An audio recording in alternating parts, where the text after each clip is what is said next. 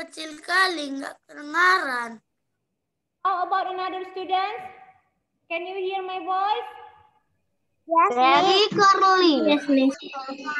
Yes, clear. Okay, Yes, miss. please, uh, ya, you move to another place. Pindah ke tempat yang lain yang maybe the connection is unstable. Oke, iya. Nah, today our topic is culture diversity ya. Hari ini topik kita adalah keberagaman budaya. Ya, keberagaman budaya. Oke, nah, apa sih keberagaman budaya itu, Miss? Ya, setiap suku bangsa memiliki kebiasaan dan adat istiadat masing-masing. Budaya dipengaruhi oleh lingkungan tempat tinggal suatu suku bangsa. Oleh karena itu, budaya dari setiap suku menjadi berbeda-beda. Ya, oke. Nah, ada pertanyaan seperti ini ke Miss ya from the students. Miss, what is the difference from ethnic and culture? Apa Miss bedanya suku bangsa dengan budaya? Atau juga orang sering bilang itu sama dengan budaya, Miss? Ya, kalau suku bangsa ya itu adalah ya peninggalan ya turun temurun daripada nenek moyang ya daripada nenek moyang kita zaman dahulu. Nah, sementara budaya itu merupakan ya budaya itu merupakan kebiasaan yang sering dilakukan oleh suku tersebut sehingga menjadi suatu kebiasaan sampai berulang-ulang sehingga menjadi budaya dari dan ciri khas dari budaya ter, eh, dari suku bangsa tersebut. Ya, misalnya nih for example, ya kalau orang Batak, ya orang Batak ada eh, Batak adalah suku bangsa. Nah, apa sih budaya dari orang Batak? Ya, apa sih budaya dari orang Batak? Pasti berbeda budaya orang Batak dengan budaya orang Chinese. Ya, it's so different. Fania, are you okay? Can you sit properly? Now time to study, not time to sleep. Oke. Ya, jadi kalau misalnya budaya, ya Miss ulangi sekali lagi, budaya merupakan suatu kebiasaan yang selalu dilakukan oleh setiap suku bangsa. Ya, suatu kegiatan yang selalu dilaksanakan, yang selalu dilakukan sehingga menjadi suatu kebiasaan dan ciri khas dari suku bangsa tersebut. Ya, nah, jadi budaya itu dipengaruhi oleh lingkungan tempat tinggal suatu suku bangsa. Oleh karena itu, budaya dari setiap suku bangsa menjadi berbeda-beda. Fania, go to restroom and wash your face. Cuci mukanya, Fania.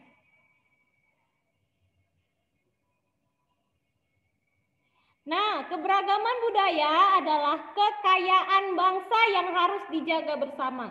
Ya, jadi budaya itu harus dijaga, Nak.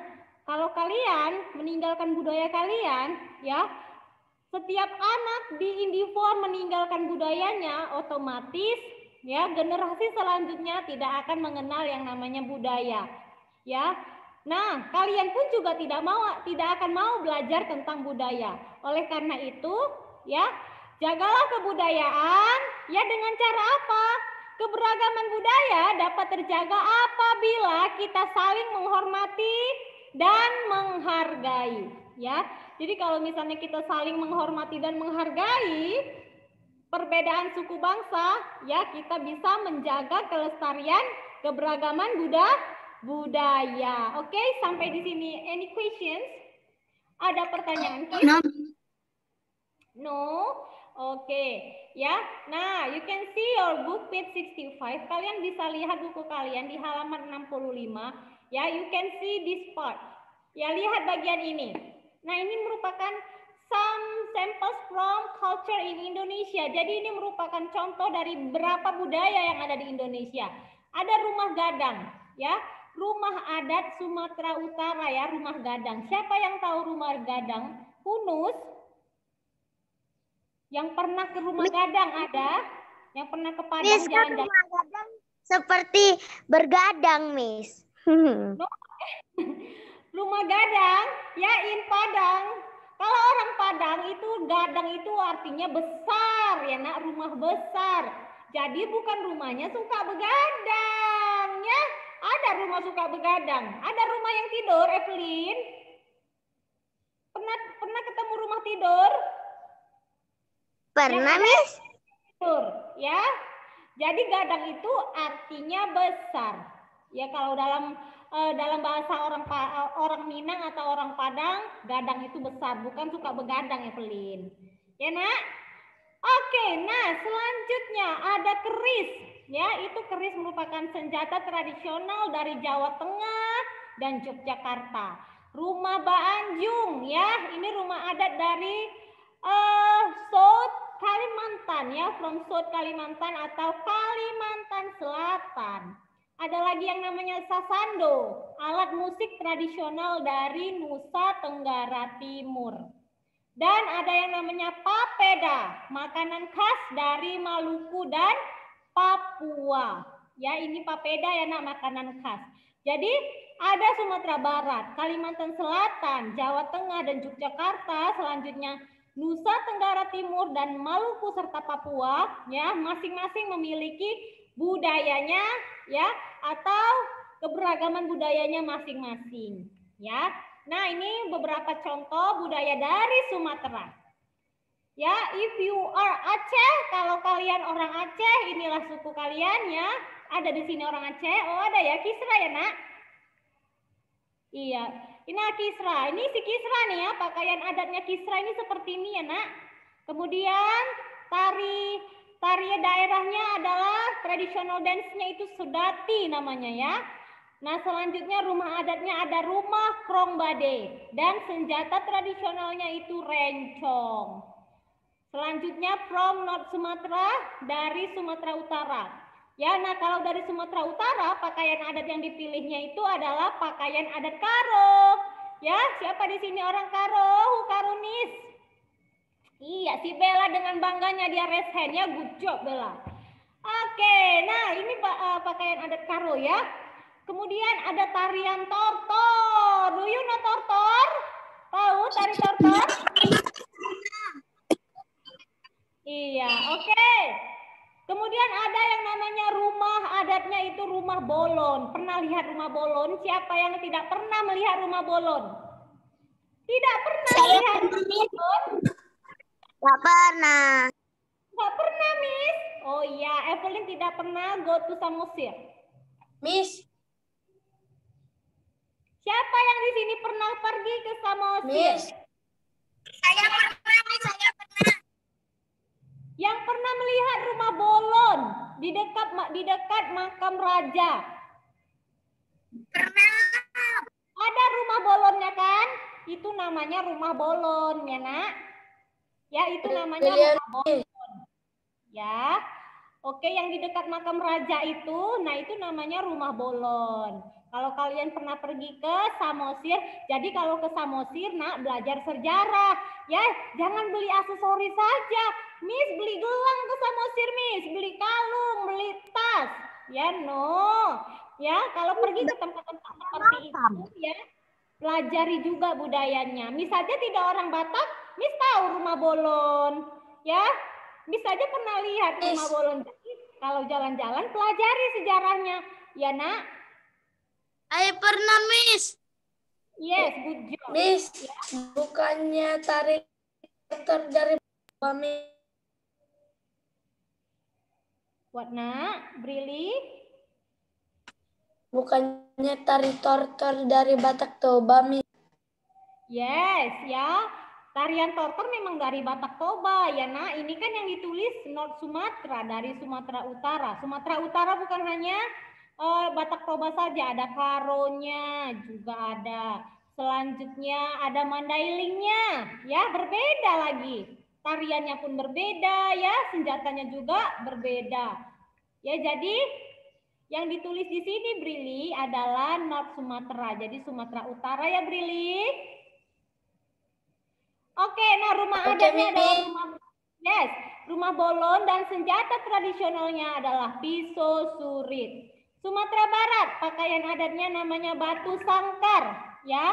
Tarian pay- tarian daerahnya adalah tari payung dan tari piring serta rumah adatnya rumah gadang. Ini ya rumah gadang ya, Evelyn.